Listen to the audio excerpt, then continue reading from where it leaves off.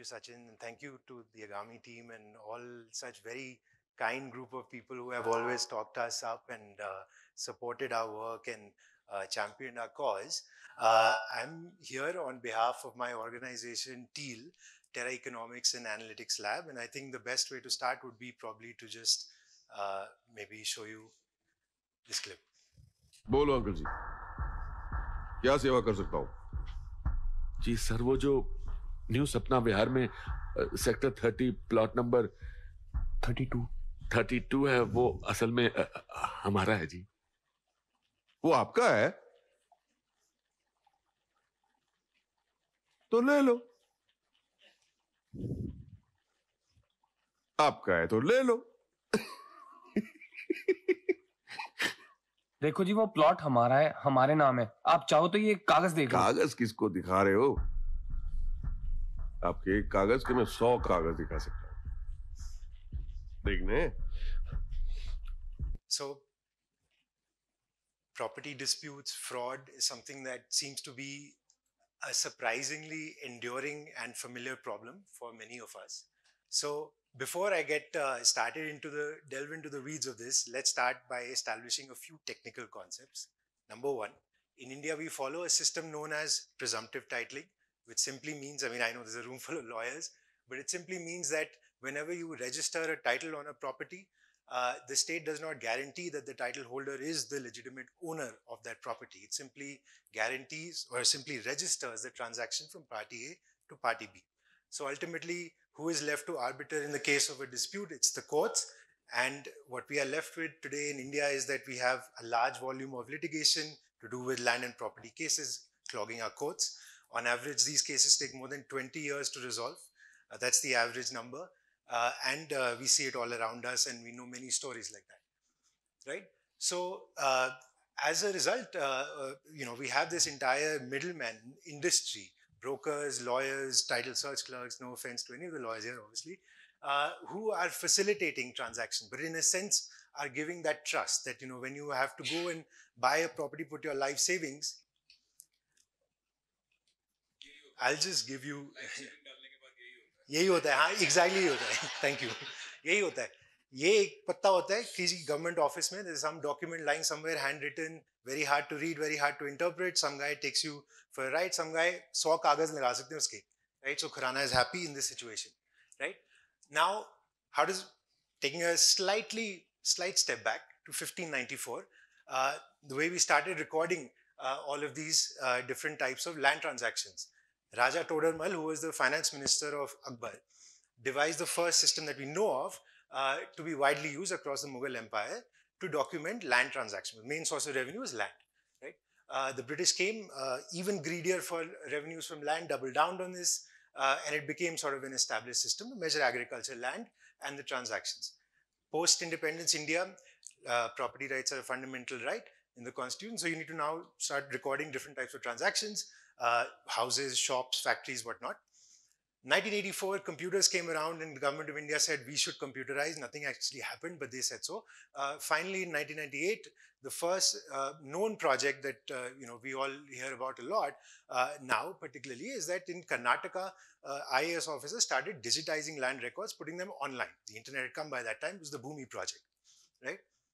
Now, what did that digitization lead to? And so we start studying this. I'll get into a little more detail. But essentially, what we have today is that we have across different states, various efforts of digitization have taken place. Uh, there are different departments that have digitized one, two, uh, or, three sets of records that are required for each properties. That includes land records, that includes the title transactions, that includes uh, municipal orders, uh, litigation also is starting to get digitized. So we have essentially different types of documents that are available from all of these different agencies. A lot of linguistic divergence because you know land has been it's essentially a mirror of kind of ancient uh, the history of India in many ways and how it's developed. Right, so we have how land revenue was recorded in different parts of the country under different systems. Uh, you know, obscure terminologies, khata, khasra, khatoni, and many more Girdwari, many more obscure ones that you kind of come across a lot, right? So four years ago, fewer sort of data nerds, we sort of thought that, okay, now it's been you know more than two decades since we've started uh, digitizing our records across the country. Is there enough to say, like, let's say start with a locality in Delhi. Okay, in one locality, can we just start mapping and figure out how many properties can we really determine this for? Who is the owner, right? Who, whether there's any dispute going on in that property, what, whether there's anything else wrong. So if you were a potential buyer and you had to buy that, you would be able to, at the click of a button, see all of that information, right? That should be the next logical conclusion. Uh, so we started creating this for a locality, and the answer was surprising to us.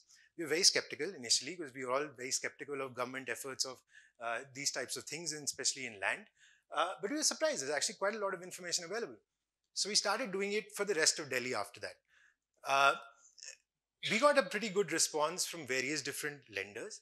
Uh, that was one of our primary customers because they, particularly affordable housing finance, there's a lot of issues when it comes to doing due diligence on property, right? And that's there's a lot of risk that's also taken away. And plus, uh, you know, a lot of times the different lenders complain to us that lawyers are not entirely always reliable in terms of what they provide, and they always take a long time and they charge a lot.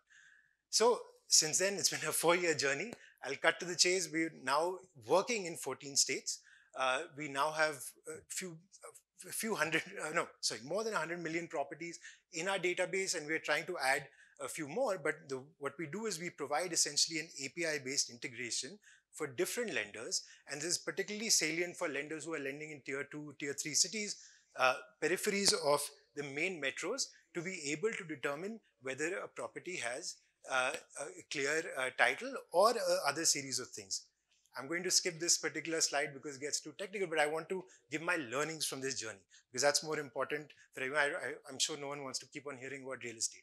So first, there are a lot of legacy challenges in India that are very challenging, but are also very interesting and pose some great opportunities to learn and develop solutions for that could indeed be also relevant for other parts of the world, right? I think that uh, for us, at least, the journey of learning about all these complexities in land real estate markets has been, it's been tough at many times, but it's also been very enriching.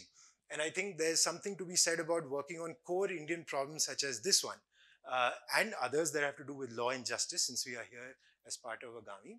Uh, and uh, uh that there is a huge scope of public goods and public good provision when it comes to digitization, digital data, and digital tools to be able to use that, right? We used a lot of our own tech that we developed, a lot of our own data dictionaries that we annotated, that we collated initially quite painfully, but there was not much available out there to do that. I know there are different efforts that are taking place across uh, many groups here, and I think there's you know there's a fantastic set of things that need to be done, and there's a huge opportunity to do so as well.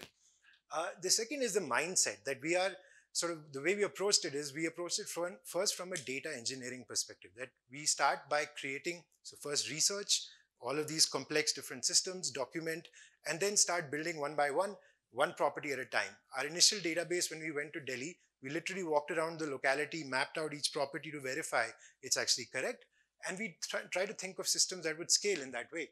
And i think there is something also here that uh, uh, obviously we're a country of engineers there's something very naturally comes to us and the second is about the mindset of a plumber, right? So you basically maintain the plumbing. So in a way, we're kind of trying to figure out how do we become the last, we sort of maintain the pipes that flow with this type of information, that it's actually correct, that it is of good quality, that it's reliable, it's updated, and so on and so forth. And I think there is some something to be said about how we now shift from a lot of things in governance, a lot of things in our communities, going from the physical space to the digital space. There's a lot of things around data that we also can, uh, as a result, think about, right? So the, the, obviously there is, I'm preaching to the choir, but right to public data, but right to perhaps clean data.